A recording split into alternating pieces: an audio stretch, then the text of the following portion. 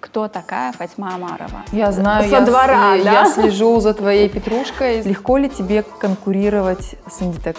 В частности, Zara, Bershka? Довольно легко можно дать жизнь на долгие годы одной э, вещи, да, одной единицы. Утром проснулся, глаза открыл, уже пора их закрывать. Закрыл, и ты те- уже старый. Да, ой, не говори, пожалуйста. Знала, что не встретит в таком же платье на каком-либо ивенте новую подружку бывшую. Отлично. У нас 8 почти миллиардов уже. Если даже ты сделаешь 5000 единиц, это эксклюзивность. Девочки хвастаются машинами, я хвастаюсь швейными машинками. Нет, Нет? до верлока не дошли. Да, Да? да, да. У тебя А, знания, а. по-моему, в других машинах лучше. Молчу. Работала она в Роза Клара, да, это испанский бренд, очень известный а, именно свадебных платьев. Не забывайте дарить женщинам подарки. Этим нужно просто обладать, как говорила Рената Литвинова.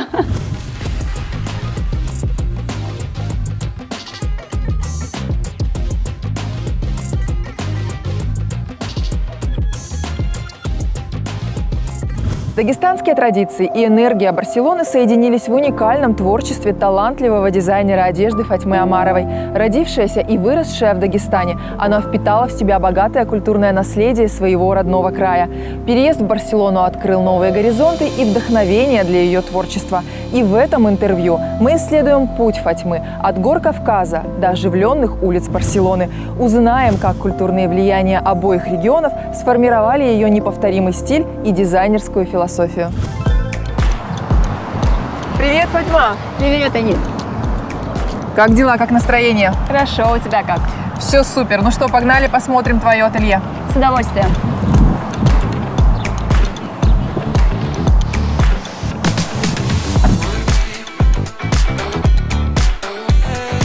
Фатьма, я знаю, что в России ты была бортпроводником. Скажи, пожалуйста, откуда такая смена деятельности? Как ты пришла к тому, что стала дизайнером?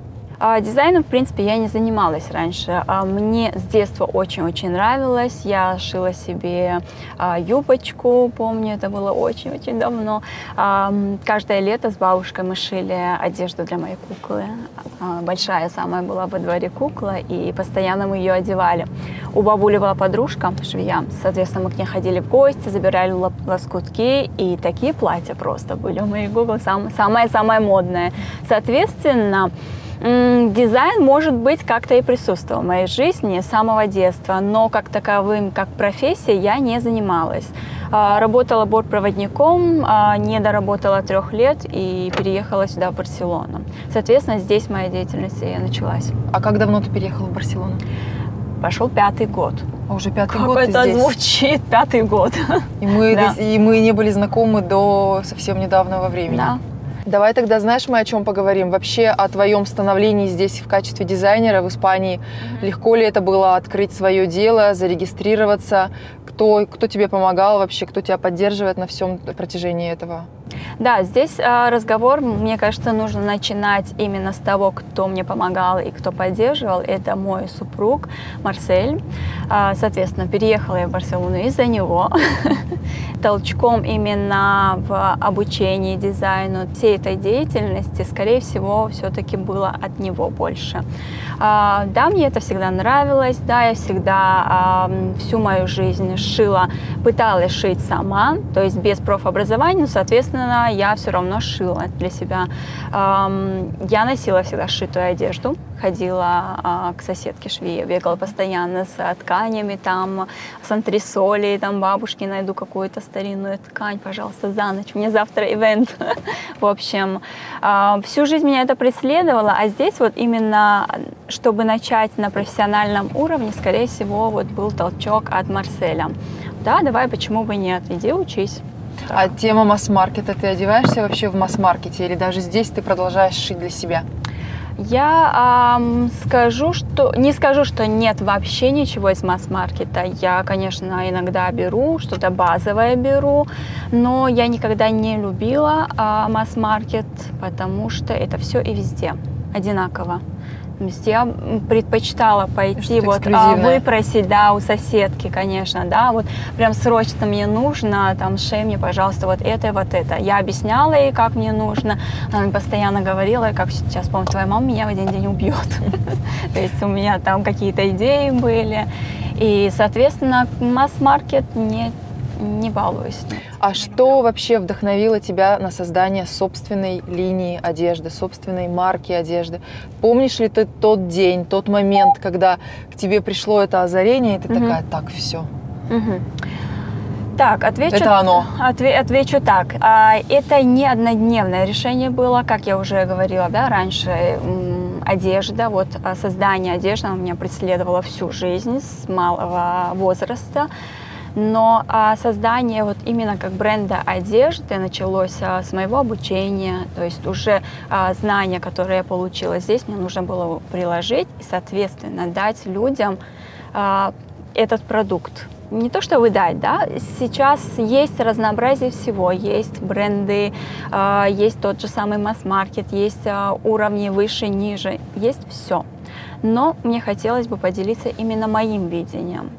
То есть а, это то, что я создаю, а, то, что мне нравится делать. Это не так, чтобы, да, бизнес. Нет, абсолютно нет. Это не начиналась идея бизнеса, это начиналась идея «хочу создать что-то, чем я смогу поделиться с людьми». И чтобы приносило прибыль, радость. так или иначе. Радость и прибыль. Радость и прибыль, радость. потому что без Здесь прибыли... муж уже меня так переправил. Да, без прибыли. Да, прибыль. Ага. А скажи, пожалуйста, с какими трудностями ты столкнулась или продолжаешь сталкиваться по сей день при mm-hmm. ведении твоего не бизнеса, но при ведении твоего радостного дела? Какие трудности тебя а, да, постигают? Трудности они были, есть и будут, потому что этот мир, мир моды, он очень сложный, в какой-то степени жестокий. Здесь э, слабинку давать никак нельзя, э, иначе просто изживут, можно сказать, да. Трудность пробиваться, трудность а, показать себя в этом мире моды, чтобы найти своего клиента. То есть я знаю, что мои клиенты, они здесь есть, но как мне ведь нужно каким-то образом дать о себе знать, чтобы донести познакомиться, до них. Да, донести до них, познакомиться с ними, соответственно, чтобы мы уже шли вместе с этими клиентами по их и моей жизни. Совсем недавно я видела в твоем инстаграм публикацию из а, какой-то газеты, да, я так понимаю, да. это была Ибица? Была Ибица. Расскажи, пожалуйста, что это была за публикация, что это было за мероприятие? Начиналась Ибица у меня а, в первый год моего обучения, когда преподавательница по дизайну мне подходит, говорит, слушай, нам так тут пришло предложение а, участвовать в конкурсе, то есть он по Испании, в общем, нужно предоставить а, скетчи, и, соответственно, там уже, если проходишь и так, то будет и дефиле. Дефиле будет, да. Дефиле, да. Соответственно, я спрашиваю, а будет кто-то еще спрашивать? Терять-то я ничего не теряю, мне интересно. То есть, а кто-то еще будет участвовать? Такая, нет, я даже и не думала, в принципе, ты сама сможешь. Угу. Я немного насторожила это в одну, в, в то же время, и мне стало очень интересно. Соответственно, а, я подготовила скетчи, мы их отправили, я уже ничего не ждала забыть забыла. Недель две, наверное, прошли, соответственно, приходит там, да, оповещение, что так и так, вы прошли финал конкурса. Угу. Финал конкурса. Там, по-моему, у меня было три недели для того, чтобы э, создать все эскизы в реальность. Угу. Воплотить. Воплотить в реальность, да, да, да, все эскизы. Соответственно, эти три недели я просто э, не вставала, наверное, из-за машинки. Было очень-очень мне интересно это делать. Мое первое дефиле, вот, а, причем это на Ибице. Ибица это такой международный город. И для меня, для девочки из Дагестана, которая баловалась и шила какие-то платьюшки для куклы, для меня было что-то а, непостижимое умом, но после окончания конкурса, когда мне уже сказали, ты выиграла, там, да, произнесли мое имя, и все, спустилась я со сцены, тогда я поняла и позвонила в первую очередь маме, и говорю, мам, я победила в конкурсе, то есть вот так вот. Какой был приз? Был приз, денежный приз 2500 евро, если mm. не ошибаюсь, да. Довольно ну, потратила неплохо. я больше. Да? конечно, конечно. Это ткани, это время, это силы, в общем, да. За, расходы, конечно, свои есть, но тем не менее. Что за коллекция была? Стиль Ибица. Коллекция из э, шести образов. Я до того, как начинать вот, делать те же самые скетчи, понятия не имела, что существует у Ибицы свой стиль. Мне говорят там, да, мой преп- преподавательница, ну вот в стиле Ибица нужно тебе а, создать там шесть э, таких-то луков, а, образов, да. Начала изучать, смотреть, гуглить. В книгах некоторых тоже нашла много информации. Это все такое белое, легкое, прозрачное, воздушное, кружевное, расслабленное. То есть это хиппи, которые первые-первые появились, они появились на Ибице. Это вот стиль исходит оттуда. А чем ты вообще вдохновляешься ежедневно при создании своих коллекций? То есть ты смотришь, как а, ветер качает а, деревья, я не знаю, как а, гладит волну. Романтично звучит. Да, Но я не скажу, что я там вдохновилась там, да, дуновением ветра. Зависит от а, настроения, зависит от а, сезона, от того, для чего я это делаю, да. И я скажу, что помимо вдохновения я подкрепляю все информацией, то есть, да, база. То есть вот это так, так, так. Изучаю, соответственно, то, что я хотела бы сделать. Там, да, грубо говоря, ам, создавала платье для мисс Испании мне говорят, там типичный костюм должен быть, да, мисс Испания.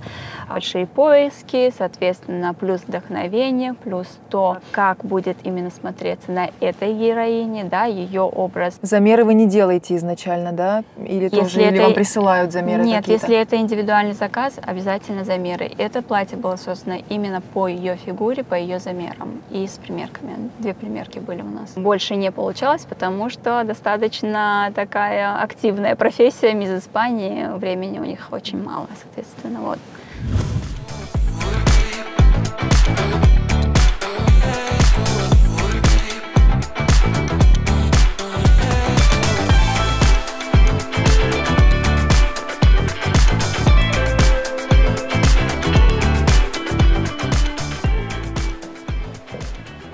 Вау, это что за лошадь?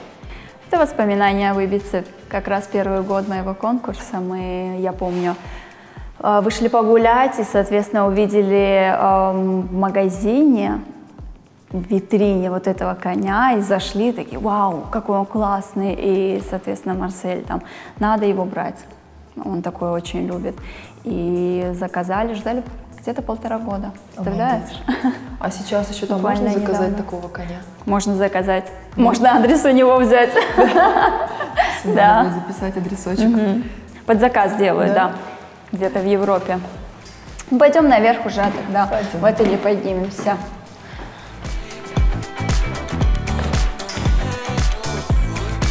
Там сюда, пожалуйста. Спасибо большое. Вот наше рабочее пространство. Ателье у меня делится на несколько зон. А здесь зона хранения всех тканей. Они у меня здесь, как видишь, все по полочкам. Мы перфекционисты, я и мой супруг. Я даже уже себе сразу же присмотрела всё. одну ткань. Да-да, я как раз вчера думала, а может быть блузы в моем стиле? Все такие, да, да, да. То есть мне сейчас нужно скетч, я обещала.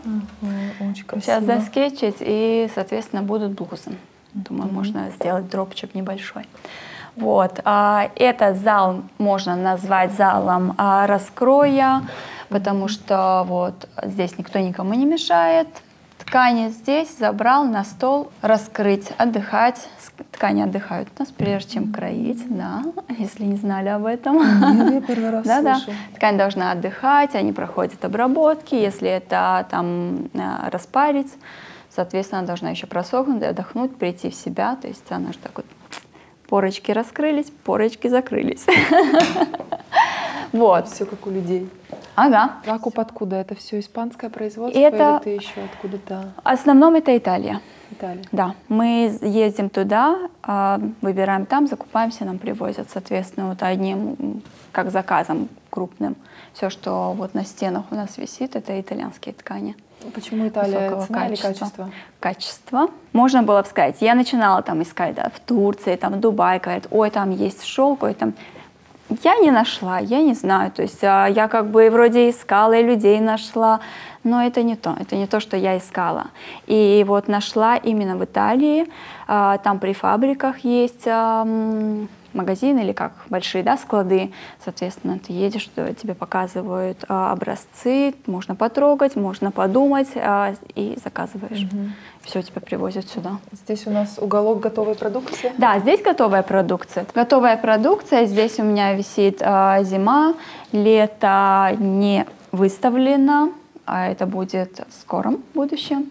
Оно отшивается уже частично. Мы их потом. Это как шоурум сейчас здесь или продукция, которая уже готова к отправке, есть клиенты? Или что это здесь? Ну, смотри, мы работаем и на отправку, и как шоурум, и как а, ателье ам, индивидуального пошива. Соответственно, у меня есть клиент, он может прийти, он может посмотреть, потому что онлайн ам, не все любят, да, вот выбирать, смотреть онлайн заказывать. И как мы знаем, там цены а, не такие маленькие, чтобы можно было сказать, ой, я закажу, не подойдет, ничего страшного. Здесь все-таки нужно взвесить, да, нужно оно мне, подойдет оно мне. Я предлагаю вариант вот приехать, примерить, посмотреть. Подходит, заказывает. Либо здесь же можно забрать и уехать. Соответственно, м, думаю, очень удобно так. М, На данный момент а, магазина нет. Продукция некоторая у нас представлена на Ибице в магазине, потому что, не знаю, вот началась у меня с этого конкурса Ибица, и я вот хочу быть там. Какая-то часть меня, мне кажется, все-таки осталась там. И мне приятно работать именно с ними для, а, для этого острова. Здесь представлена коллекция а, осень-зима 23 года.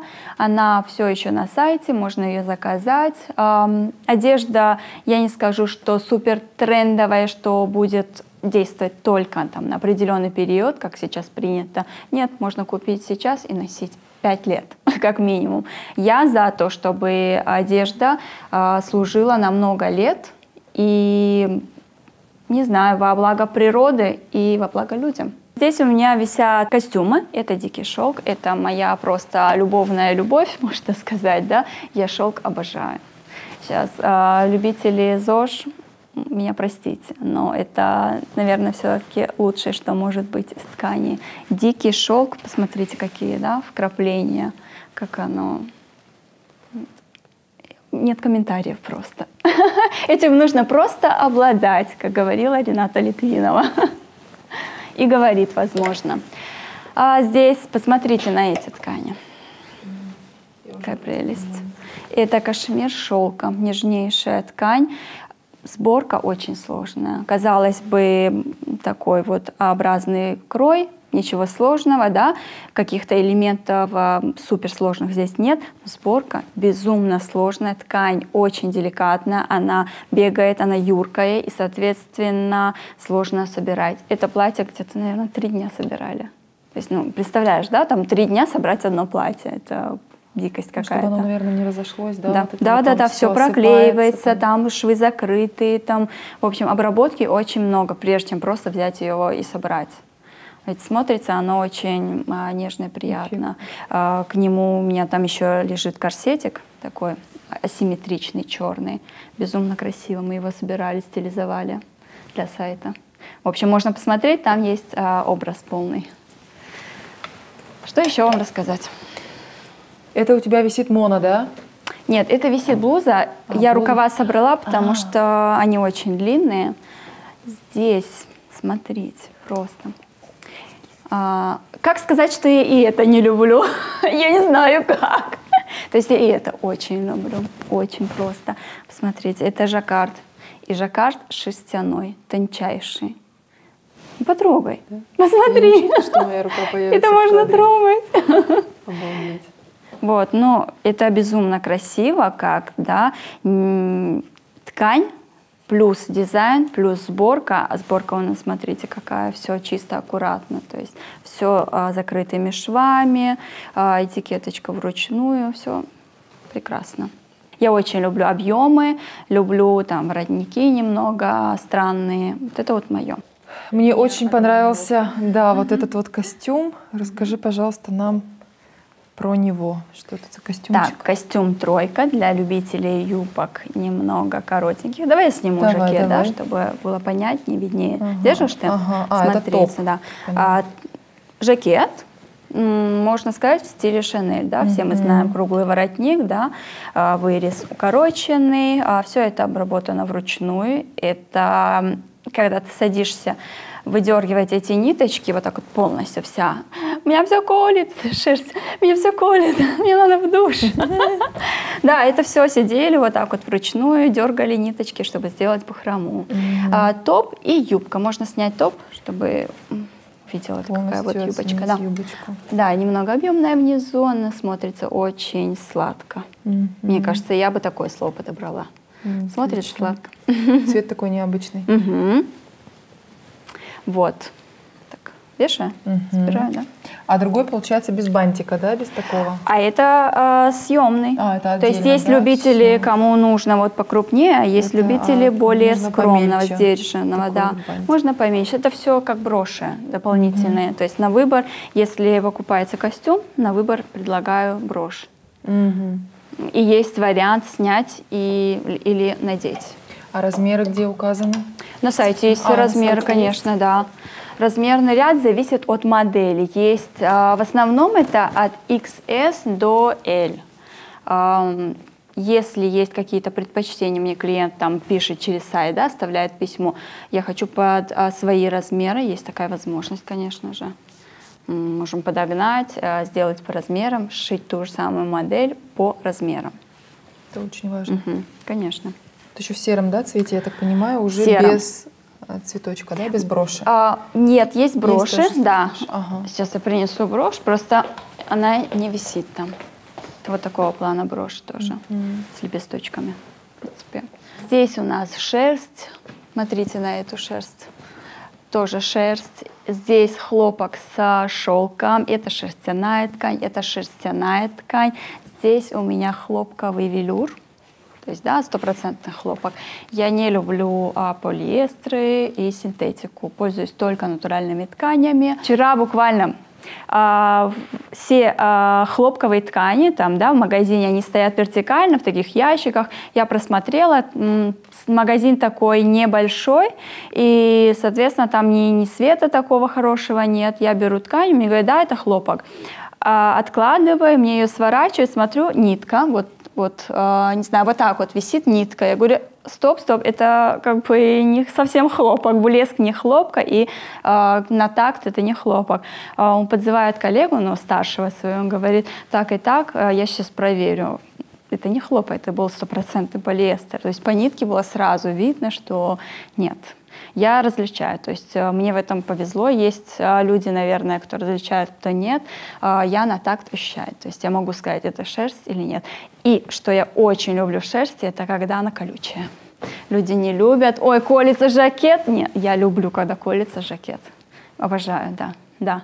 Это мне дает как будто бы ощущение вот этой вот роскоши, натуральности э, шерсти, потому что синтетические ткани, они специально сделаны так, чтобы на такт они были более приятные. Если пройдем дальше, соответственно, я буду перечислять шерсть, шерсть, шерсть, шелк там, да, и дальше. Ну, в основном а, всякие шелка, там, кашемиры, они уже у меня уходят в ту сторону. У меня так здесь больше плюс-минус расположено по категории, да, там шерстяные ткани зима, и дальше перемещаемся, там будет а, ближе к весне, а, лету, и по цветам плюс-минус. Я эту ткань очень люблю, это у нас будут осенью коротенькие курточки, очень красивые. У меня одна есть, я уже давно ее ношу, но к продаже они будут доступны только осенью. Этой осенью на этот год. Это кто идет, моя кошка? Господи, какой огромный! Ой, моя козочка! Обалдеть. Это кот на самом деле. Почему-то я люблю вот называть его кошечкой. Это же собака. Иди сюда. Кот, выходи сюда. Иди, булочка, иди ко мне. Думаю, красавчик, мой любименький кот. Смотрите, он очень доволен. Кот, посмотри, у нас гости. Кошечка моя. Слезу моя. пробила, он такой огромный. К ним можно только издалека. То есть этот товарищ, он у нас асоциальный. Иди сюда. Вот ушками дергает. Иди сюда, кисюнька.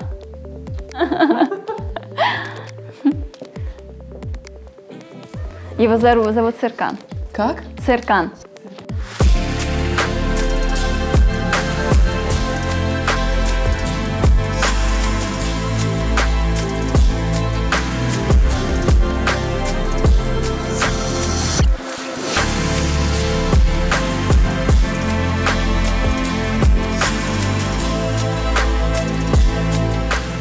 Пожалуйста, что за место такое прекрасное, где мы сейчас находимся?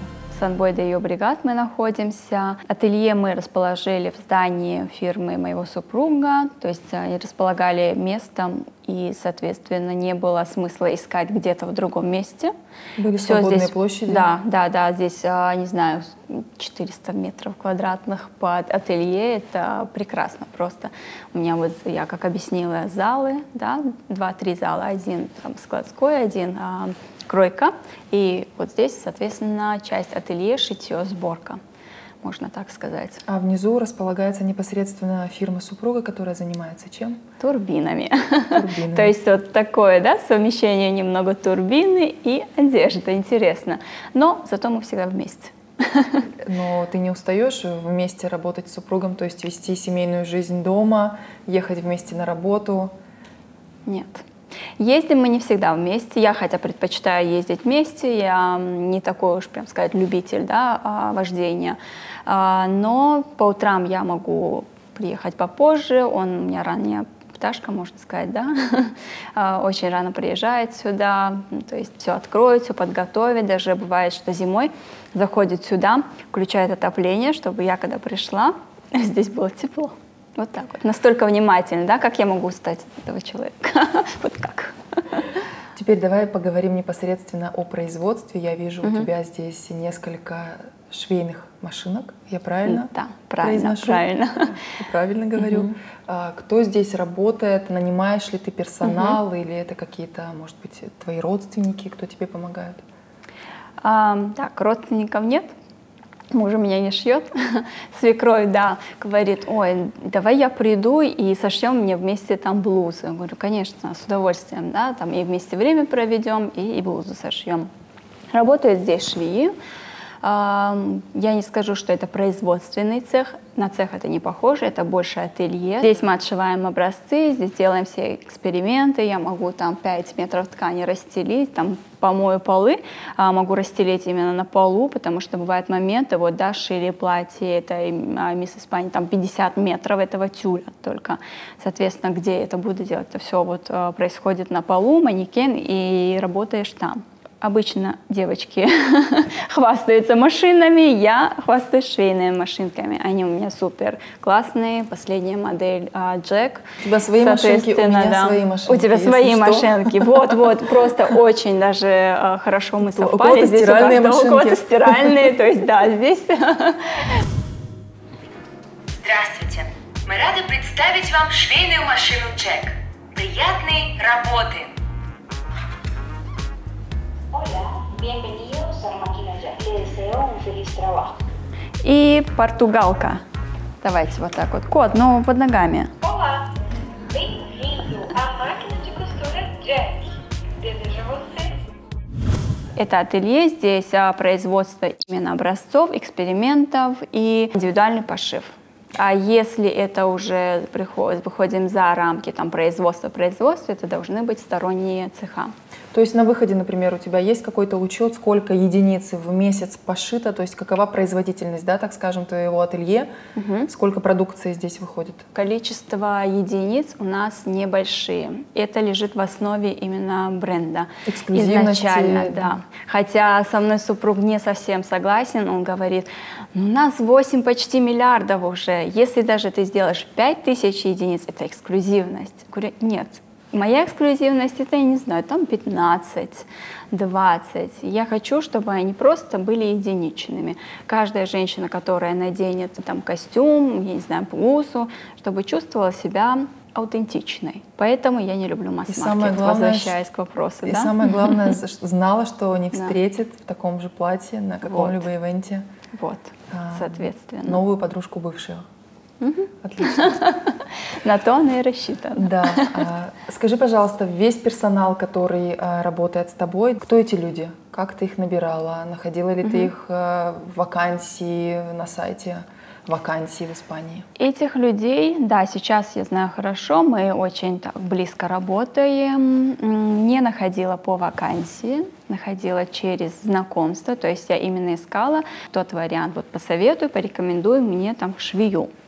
А, К примеру, закройщица, лекальщ- лекальщица, это я сейчас перевела с а, испанского. Это конструктор на русском, правильнее, да? Это моя бывшая преподавательница с а, огромнейшим опытом работы. Работала она в Роза Клара, да, это испанский бренд, очень известный а, Свадебных. именно свадебных платьев. Она проработала там, а, во главе цеха стояла. В общем, Что ее сподвигло уйти с удача. Розы Клара и Она с Розы Клара ушла в преподавание, говорит, я уже устала. Это очень большая работа и большой стресс работать, а, руководить командами, да, а там на производствах это действительно стресс. То есть я не работала, но я знаю, о чем идет речь, да. И она ушла в преподавание. После преподавания ну, мы познакомились, я училась там, и получилось так, ну, то есть, да, Вселенная как-то сложила наши судьбы, что мы именно работаем здесь. преподавание кройки шитья. Да, да. А Она мне, а, у меня вела курс а, альта костура, высокая мода. Все а, девушки, которые здесь работают, ну я так понимаю, что команда это у нас небольшая, да, девушки, А, команда небольшая. Это испаноязычные или а, русскоязычные? Вот закройщик а, и конструктор, она у меня испаноязычная, каталанка, и швеи у меня одна русская, вторая украинка. У тебя такая интернациональная Да. команда. Да, да, и я дагестанка. Микс, да. Проходи, пожалуйста. А, Следующая зона у нас а, зона больше ателье, я бы сказала. Здесь у нас стоят машинки, рабочий стол, где можно изделия собирать, все можно разложить, да. А, так как тот стол у нас был больше закроечный, здесь больше уже сборочный. Такие слова странные, но в принципе, оно такие есть, да, здесь происходит пр- процесс сборки изделия. Ателье, наверное, в плане, если там индивидуальный пошив, я бы назвала эту часть ателье, А, в плане производства я бы эту часть назвала, назвала бы экспериментальной, может как-то так, да, здесь мы делаем образцы, собираем, к примеру, да, вот я покажу тебе, здесь висит а, в таком простом хлопке, мы собираем изделие, чтобы увидеть, ну, оно наизнанку у меня здесь висит, чтобы посмотреть, а, как легло. Смотрим объемы, нравится ли там, да, ширина, к примеру, а, лацкана или... На самом изделии мы видим, здесь нужно изменить, вот смотри, у меня заметки, там, добавить 2 сантиметра здесь, изменить форму, мне не очень нравится, грубо говоря, да. Здесь там пришить этот карман должен быть на а, такой ленточке, чтобы он не болтался туда-сюда, он будет закреплен а, на испанском. Байларина называется, мне очень нравится это слово, как танцовщица, да. А, это небольшая там ленточка, ниточка, которая бывает между слоями юбки, да, а, низ юбки, чтобы они сли- слишком сильно не расходились. Но в одно и то же время на каждый слой идет по отдельности. Вот здесь у меня висят там модели, которые мы собираем в процессе, что-то нужно доделать, переделать, дошить. И здесь, я так понимаю, какое количество человек может находиться одновременно? Раз, два, три, четыре, пять человек, да? Грубо Нет, говоря. машинки разные. Смотри, Все вот разные. эти, вот Мгм. эти три, они а, называются плана или ректа на испанском. А, обычные машинки прямострочные, по-моему, если я не ошибаюсь, вот русское слово, это именно прямострочная машинка. Дальше у нас вот стоит большая, Оверлок, этот наверное? гигант. Нет, Нет? до оверлока не дошли, да, Да? да, да, у тебя А, знания, по-моему, в других машинах Всё. лучше. Молчу. Это а, петельная машинка, Ага. представляешь, там можно загружать даже дизайн петли, то есть вот со своим экранчиком его Так. включаешь, там можно с флешки там сделать дизайн петли. Представляешь, дизайн петли, хотя там уже там где-то загружены тысячами, да, ты сидишь и флешки. выбираешь. Ты еще дополнительно можешь загрузить свой, чтобы а, сделать петлю. Это вот насколько, да, продвинуто все здесь. Сколько такая машина может стоить? Это стоило в пределах 6 тысяч евро. То есть это не самое дешевое удовольствие. Я просто не скажу, дорогое, это не дешевое удовольствие. А, Эти машинки, сами видели, да, они приветствуют, они каждый шаг с тобой общаются, да, каждое действие они повторяют, дублируют, говорят там, а, там ты повысила скорость, да, там ты поменяла а, стежок, Ну, то есть вот а, в таком плане. А, И дальше вот крайняя машинка это стоит, вот ты угадала, это оверлок. Угадала. Но угадала слово оверлок, но не саму машинку. Да. Это оверлок, да. Это единственное, что я знаю из мира шитья, поэтому мне надо было куда-то это вылить. Пользуемся мы им не так часто, а, как пример, вот ты говоришь, да, масс-маркет, Zara, там красивые модели, ты открываешь эту красивую модель, там в основном все оверложенное. Я предпочитаю использовать а, закрытые швы, здесь, не знаю, вот какие-то варианты пробы, да, мы на каждой ткани пробуем, чтобы посмотреть, ляжет ткань, не ляжет ткань, вот а, с этой толщиной можно или нельзя. Вот здесь мы делали брюки, да, чтобы внутренняя сторона, когда ты открыла вот этот шов, вот он будет вот так заутюжен, у тебя будет вот это. Либо вот ты идешь в Зару, у тебя будет вот это. Что тебе больше нравится? Вот то. Это больше, больше эстетики здесь, в этом. Но здесь работы больше. Здесь оверлок, загладить и прямострочную машинку еще добавить. Здесь несколько шагов еще дополнительных, чтобы добиться вот этого результата.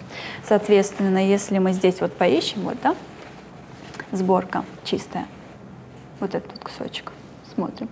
Это нужно сделать несколько операций, чтобы добиться вот этого одного шва, грубо говоря.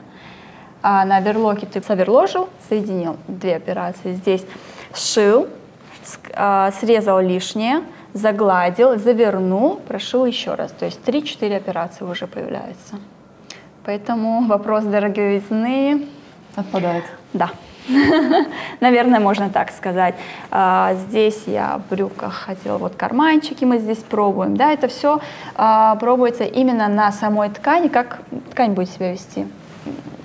Все ткани ведут себя абсолютно по-разному. Сейчас уберу. Здесь мы пробовали. Безумно мягкая. Это кашемир с шелком. Дорогая ткань. Тоже из Италии привозила. А здесь, по-моему, только шерсть. Вот это шерстяная. Но смотри, просто если мы ее пришиваем, вот что происходит. Вот так вот. То есть невозможно сшить из нее что-то, вот просто так взять и сшить. Соответственно, мы вот на, той, на том платье, которое показывала, да, коричневое, там столько операций, просто мы, не знаю, неделями, даже не одну неделю, неделями думали, голову ломали, как можно шить так, чтобы это не открывалось. Там и прозрачные нитки были, там и дублерины были, там э, в итоге, да, вот эта вот лента дублерин, чтобы она не выходила за шов. То есть, когда ты открываешь, чтобы внутри не было видно вот проклейки. То есть, сидишь и голову спишь и думаешь. Вот бывают моменты, когда ты не можешь даже толком просто отключиться и уснуть. Потому что думаешь, думаешь, думаешь, как это можно все сделать. Либо появляется идея, это моя самая любимая. Появилась идея и быстро воплотить ее, как это будет выглядеть. Интересно, как оно в реальности будет выглядеть. Вот у меня есть что-то в голове, да, и что у меня из этого получится. Это, мне кажется, самое любимое в этом процессе у меня. Вот реально самое любимое. Идея, результат. И вот этого результата мы здесь э, достигаем. Такой вопрос, который меня мучает уже достаточно давно, и я очень хотела его задать какому-либо дизайнеру, желательно молодому, амбициозному. Легко ли тебе конкурировать с Inditex?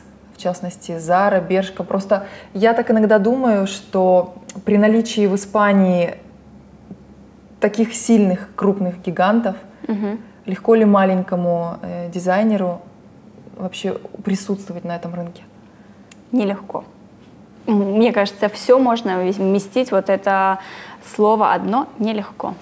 Потому что сейчас, как ты знаешь, мода скороспешна. Если это слово подходит, она очень-очень скороспешна, прям вот скоро и спешит. Меняется все сезон за сезоном. А, Купил дешево, надел, выбросил, и следующий сезон другое. Я просто предпочитаю другой вариант а, моды.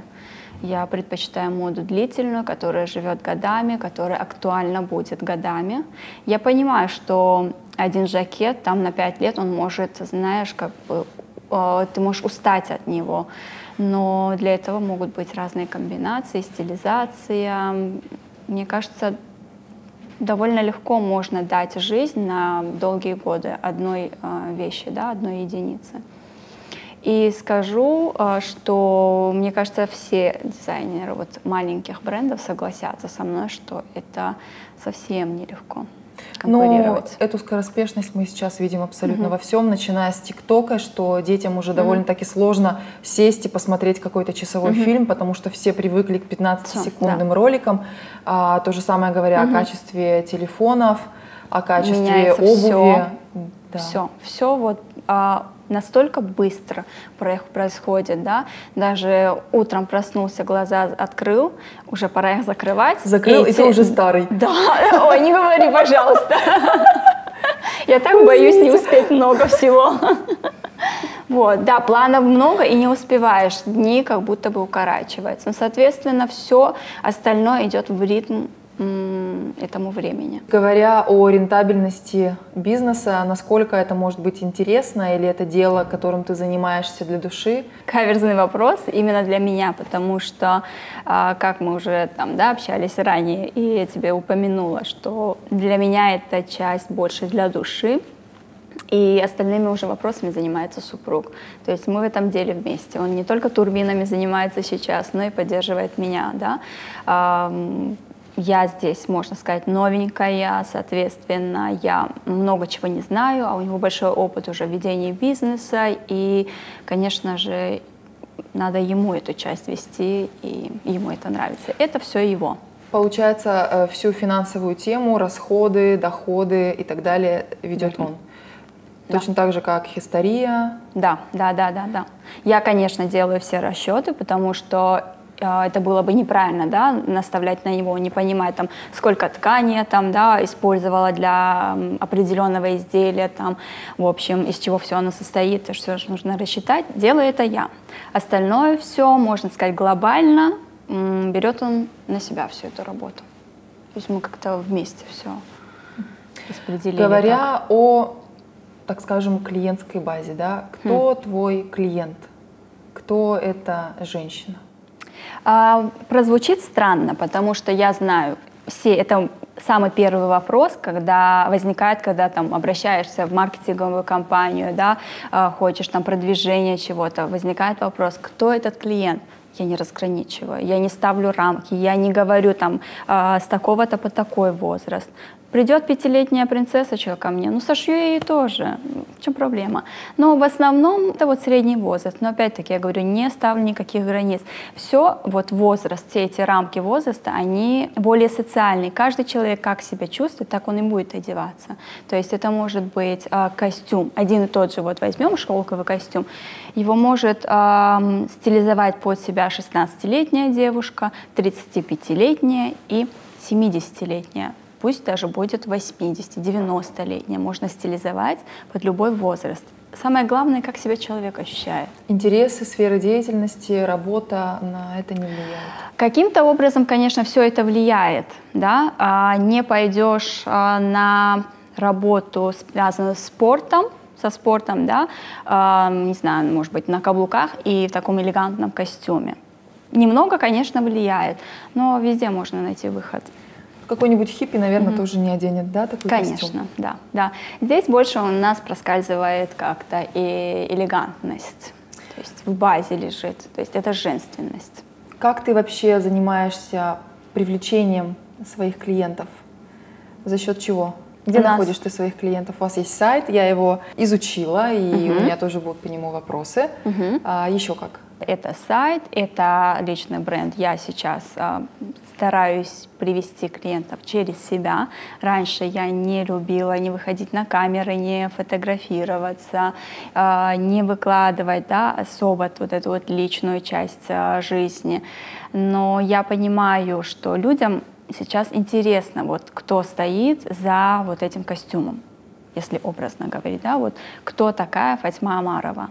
Есть интересно, соответственно, э, я понимаю, что нужно уже раскрывать себя, да, делиться с, а, информацией о себе, где я живу, чем я занимаюсь, да, а, в какие часы дня я работаю в ателье, а, что я делаю там после обеда или что я поела даже в обед. Бывает иногда и такое, то есть вот настроение такое, вот захотелось поделиться. Хотя со стороны я думала, о, глупость, да, там фотографировать еду. Но сейчас а, для меня еда это вот эм, во дворе я себе обустроила все зелень, там у меня овощи, огурцы, томаты растут. То есть мне хочется этим делиться, помимо того, что я там шью какое-то платье. То есть один день а, с утра это может быть там а, несколько историй про платье, и после обеда, я вот, вернее, либо пошла на обед, это может быть салат. Со- Я знаю, со я, двора, сли- да? я слежу за твоей петрушкой, за Да, твоими зеленюшкой. помидорками в саду, так что все. Мы ждем помидорки, так что Все приглашу. зафиксировано, обязательно, спасибо. Да, Вот. э, я считаю, что создание личного бренда это очень Мгм. важно, как ты правильно сказала. И сейчас ты делаешь акцент на своем инстаграм, да? Да, да, да, да. Это вот буквально недавно я начала, начала больше вот там появляться, как я уже указала, да, больше как-то в историях. Мне а, не совсем привычно это делать, но надо привыкать. Ну даже Надо само то, что привыкать. сейчас здесь ты находишься на интервью, это уже Да. один а, маленький, может быть, шажок на пути к твоему успеху. Для меня большой достаточно, но я очень благодарна вам, да, за интервью и за организацию всего этого мероприятия. В каком направлении ты планируешь развиваться дальше? Может быть, у тебя есть в планах открытие своего бутика в Барселоне или где-нибудь в Ларока Виллидж, почему нет? Я не очень люблю говорить о будущих планах. Я тот человек, который предпочитает сначала сделать, а потом уже рассказать. Всегда так делала.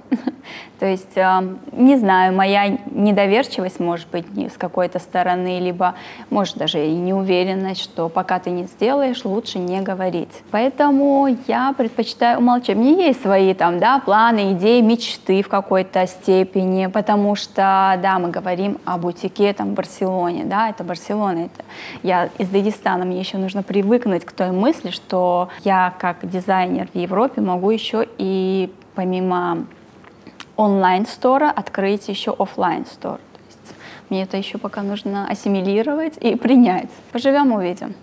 Что бы ты посоветовала начинающим дизайнерам и предпринимателям э, в мире модной индустрии? Я не советчик, не люблю. Каждый живет свою жизнь, проживает свой опыт.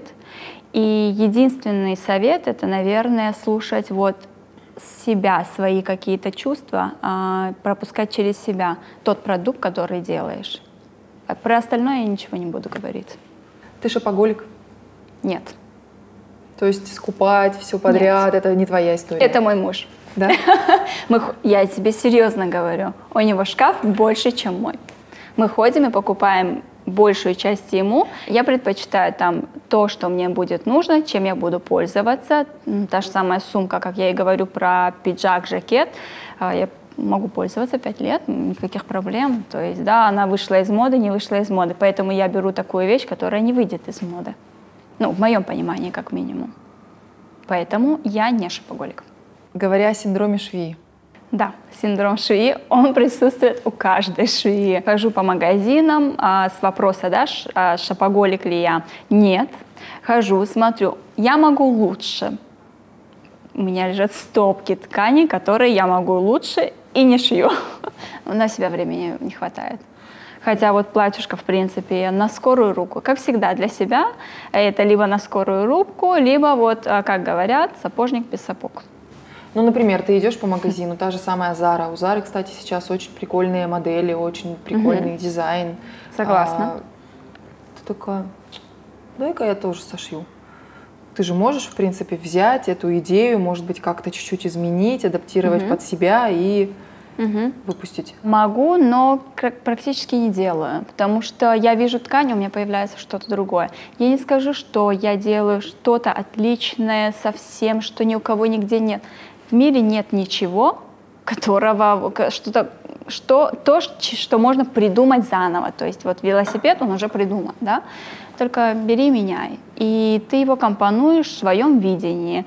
Ты вкладываешь в это свою душу, свои идеи, свои мысли, энергию, время. Соответственно, выходит именно твой продукт. Он отличный в любом случае от другого, от той же самой Зары или Луи. М, В любом случае он будет отличный. Но посмотрит человек со стороны, скажет, а, он похожий. Потому что нет ничего, что можно заново создать. Ну, как говорится, укради Есть идею и всё. адаптируй ее под себя. Да. Все. Возвращаясь к твоему сайту, я Мгм. хотела уточнить вот такой вопрос. Да. Изучая вчера твои коллекции, я нашла следующие названия для платьев. Например, Мадре Перла, Авентурина, Мгм. Ромулеа, Лирио де Мар. Мгм. Кто придумывает названия? Откуда вообще? Ага, придумываю их я. А, названия, м, если ты заметила, да, они относятся к определенному семейству. Там а, мад- а, Madre Perla, Aventurina, это все камни. То есть ам, драгоценные камни. Есть коллекция, где это цветы, флора. К примеру, вот а, коллекцию Ибицы я называла именно цветы с Ибицы. Я искала, делала research, смотрела, что похоже, на, то есть какие характеристики имеет. Соответственно, выходит название а, платья. А, на зимнюю коллекцию у меня были имена а, девушек. То есть, не знаю, почему-то мне вот захотелось именно девушек. А над какой коллекцией ты сейчас э, работаешь и когда э, планируется ее запуск? На данный момент работаем над коллекцией 25 года весна-лето. То есть это делается заранее, за год вперед практически, да. Какие-то и зарисовки, идеи, поиск тканей, а те же самые вдохновления, как ты говорила, да, дуновение ветра. А, Это может быть как дуновение ветра, также и включение машинки и приветствие, да. Что угодно. То есть просыпаешься среди ночи, надо быстро куда-то это все зарисовать, иначе просыпаешься утром и забываешь. Такое тоже бывает. Поэтому у меня в заветках в телефоне какие-то кривые рисунки. Главное, чтобы я понимала, о чем речь. Вот и все. Получается, коллекция, которая сейчас висит в первом зале, которую мы видели, костюмы тройки, Мгм. это осень-зима вот этого года, Да. 24-го. Да, верно. 23-24 переходящие. Верно. А, На лето мы не делали большую коллекцию. Это, можно сказать, небольшой дроп. Скоро будет тоже в наличии. Будет и анонс, в принципе, а, этих моделей. И запустим где-то вот а, в 20 числах июня, я думаю. Говоря о ценовой политике твоих вещей, так скажем, это не дешевый сегмент. Это связано с тем, что ты используешь натуральные ткани в производстве своих вещей. Это несколько компонентов, почему вот цена, да, я все-таки предпочитаю объяснить, а, из чего она составляется, эта цена. Это не так просто с потолка или когда мемчик ходит, там мне приснилась эта цена. Нет, это не так. А, Это как а, минимум ткани, это рабочие часы, скажу рабочие часы, потому что мне нужно оплачивать а, сотрудников, которые шьют. Это не цех, в котором а, каждый шаг делает машинка, да, или там конвейер из 15 швей, которые сидят, я пришью там рукав, ты пришьешь пуговицу, идет бездумно все. Нет, здесь одно изделие шьет одна там швея, да, или же мы между двумя, между тремя какие-то моменты а, обсуждаем, как все это сделать. Соответственно, получается, одно изделие занимает несколько, несколько это мало, это даже получается день занимает, чтобы собрать один жакет. У меня какие-то есть а, там видеоролики, да, процесс сборки, я где-то сама на камеру собирала, там а, подшить плечики, там мелочи какие-то, которые, по сути, ты смотришь на жакет, два кармашка, ничего, да, скажешь, до шва и ничего там нет. Есть там очень много внутренней работы, и эта работа делается вручную. В цехах это делается все на машинках. Пояса вручную не, не пришивают. Мы здесь вручную сидим, стежки делаем, чтобы было аккуратно, чтобы было чисто все. из этого всего исходит цена, это а, маркетинг, это а, пакеты, я вам покажу. Просто посмотри, Упаковка. потрогай упаковку, пакет, бумагу, да, в каком они качестве. Это мы пришли вот на производство упаковки. Супруг Марсель спрашивает, какое лучшее? Это, это его любимое. Что у вас лучшее? Потом мы дальше посмотрим, да, и мы выбрали лучшее. Это бумага, которая а, уголки не теряют цвет, то есть они не белеют. Эта бумага полностью пропитана краской, а не покрашена. То есть, как нам объяснили, да, вот а, уголки пакета, они могут затереться побелеть. В этом случае они не побелеют. И, откуда берется эта цена жакета? Соответственно, из всех этих а, компонентов и берется эта цена. Помимо этого, есть еще много других составляющих, которых я сейчас не буду просто вот рассказывать. Смысла особо нет. Покажу я вам а, упаковку, да, здесь. Первым образом она заворачивается вот в бумагу. Давай так здесь положу, да, ставлю. Шелковая бумага называется, да, если условно переводить. Папель де седа. Здесь логотип у меня, да. Делали, на испанском называется тройка печати специальные, печати да, ставят. делают под а, бренд и потом уже их используют. А дальше вот достану вот такой вот пакет. Смотрите.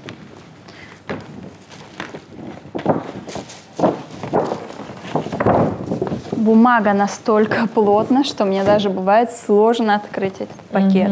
То есть качество это высшее. Я просто не побоюсь этого слова сказать высшее, да. Э, на той фабрике, которая производит э, эти пакеты, лучший материал, который у них вот был, да. Даже Смотри, сам по вот себе пакет тяжелый. тяжелый, его сложно открыть. Да, он сложен. А, опять-таки делают а, они отдельно логотип, а, чтобы отпечатывать потом в будущем, да, когда ты дальше заказы делаешь внутри, они указали нам сайт. Ручки, все это не наш, на завязке, а на железках, чтобы оно не порвалось. То есть этот пакет, я не знаю, не тот вариант, который ты пришел домой и выбросил. Ну да, выкидывать Хотя я, к примеру, не люблю там брендовые пакеты какие-то держать. Я прихожу с покупкой, распаковываю, и, соответственно, я ее выбрасываю. То есть что я буду делать с этим пакетом? И порой самой мне бывает жалко, и думаю, что же с этим пакетом буду делать? Я надеюсь, его не выбросят. Ну, настолько он мне нравится. Я шью, он приходит, спит, просыпается, приходит и на- наматывает круги, чтобы я его здесь погладила. Но мне приходится потом каждый раз вставать эти руки мыть, да? Не могу от заказа, вот, шерсть оставляет. Сейчас у них линька, к сожалению, приходится постоянно. То я руки мою, то у меня роллер везде. Мои жители здесь. Кошечка. В общем, а, хорошая компания. Сейчас я тебе предлагаю пройти небольшой блиц-опрос. Нужно отвечать быстро и не задумываясь. Постараюсь. Что важнее, мода или комфорт? Комфорт. Самый важный элемент в дизайне одежды. Энергетика. Модный тренд, который тебе не нравится. Не знаю. Любимый модный дом или дизайнер. Александр Маккуин. Твоя последняя покупка. Давно не покупала. Одежда, которую ты никогда не наденешь. Шорты, трусы. Какую самую странную вещь тебе приходилось шить? Корсет наружный. Фатьма, спасибо огромное тебе за интервью. Я желаю тебе дальнейших успехов, развития. Достигай своих целей. И самое главное, наверное, чего хочу пожелать я, крутых модных показов и признательности общественности. Анита, большая, огромная благодарность за то, что ты мне предложила интервью это, за то, что согласились приехать, посмотреть и поделиться с людьми моим творчеством. Огромная благодарность твоей команде. Ребята, подписывайтесь на мой канал, ну и, конечно же, не забывайте ставить лайки. А еще не забывайте дарить женщинам подарки. Снимай, как я э, лоб меня облазит. Так, что, все, погнали, да, ребятушки? Погнали. Да. Позитивный вайб, да? Кот, да? Правда? Правда у нас и одежда такая хорошая, как ты, кошечка моя? Пойдем сюда. Иди. Иди сюда. Иди ко мне, моя крошка. Ты моя доночка, моя дудоночка. Он весит, ну это капец как много. Что тебе на ручки взяли? Я на тебя так же смотрю, как ты на меня. Он так на меня посмотрел, это что за... Ну-ка, отойди. На.